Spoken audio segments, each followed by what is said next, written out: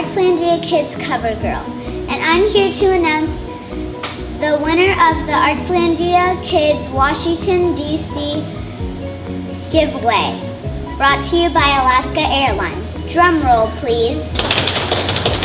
And the winner is Jennifer Fullilove. Congratulations, Jennifer, and thank you for all the Artslandia readers for participating. Bye, everyone.